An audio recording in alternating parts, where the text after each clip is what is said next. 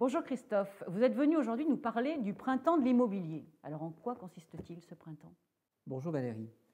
Après un marché plutôt marqué par un moral déprimé, l'immobilier retrouve enfin une meilleure santé, au point de voir naître ici ou là des tensions sur les prix, des négociations ragaillardies qui nous confirment que l'immobilier demeure le placement préféré des Français. Qu'est-ce que nous prédit la tendance simonote dans l'ancien? Elle prévoit que les notaires anticipent une reprise de l'activité avec des transactions plus fluides se traduisant par une stabilité des prix dans les mois à venir. Et qu'est-ce qui se dessine pour le neuf?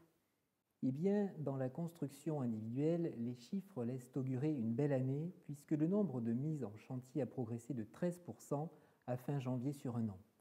Et dans la promotion immobilière, les professionnels peuvent appréhender l'avenir sereinement. En effet, le nombre de programmes neufs a quant à lui augmenté de 18% sur un an seulement.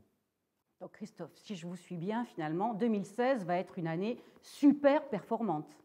En effet, l'immobilier prend une belle revanche sur les placements financiers, plutôt malmenés actuellement. Nul doute donc que ce juste rééquilibrage des rapports de force va rassurer tous les propriétaires immobiliers. Ben, je vous remercie. Merci Valérie.